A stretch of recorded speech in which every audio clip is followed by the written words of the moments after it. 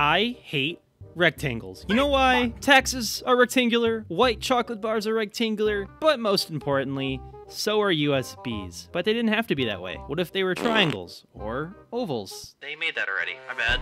Ajay Bhatt, a mega nerd who led a team of individuals from seven different companies on behalf of Intel, set out to make a universally usable connector for all kinds of peripherals. By the way, when we say peripherals in the nerd world, we mean devices like printers, mice, keyboards, not your peripheral vision. They started this project because they listened to Dr. Bigweld from Robots and saw a need and filled a need. Prior to USB connections, uh, the connector world was a little bit of a clusterfuck. Uh, you wanted to plug in a mouse? PS2 connector. No, not that one. Keyboard? PS2 connector again. Printer? This big fucking ugly thing. And want to do gaming? Good luck.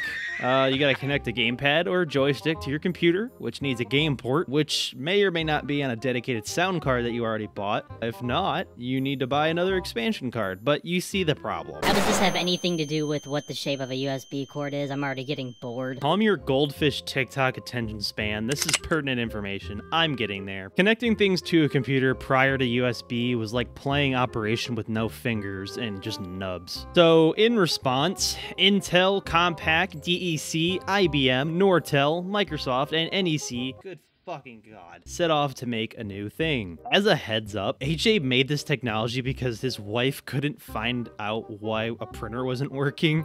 So he was just like, fuck it, I'm gonna make a new thing to circumvent and bypass this issue. There was a lot of trial and error with the technology itself, mostly because they wanted it to work with or without the machine having to be rebooted, which was kind of unheard of prior to that point. Yeah, you heard that right. If you wanted to replug in your mouse or keyboard, you had to restart your computer. Now imagine how annoying that got when you had to replug in your mouse, keyboard, printer, speakers, didn't matter. You had to restart pretty much every single goddamn time.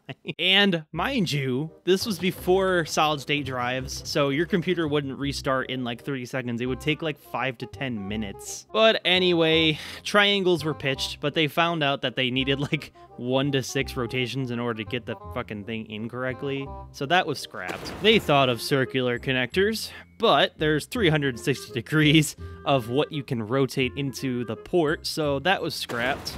Why don't they just put a notch in it? Uh, that's because that's what they were trying to replace. The PS2 connector was circular with a notch in it. So eventually, they come up with the rectangle shape. Why? Well, they did blind testing with a small group of people and found that without looking at the actual port, rectangles were the easiest thing they could find for a one-sided connector. I find this horseshit because the amount of times you gotta flip the damn thing is kind of obscene. I mean, obviously, you can go only go one way with it, but you cannot tell me you've never rotated a USB twice just for it to be the right way the first time. They got it down. USB 1.0 was announced, and Intel filed the patent for it.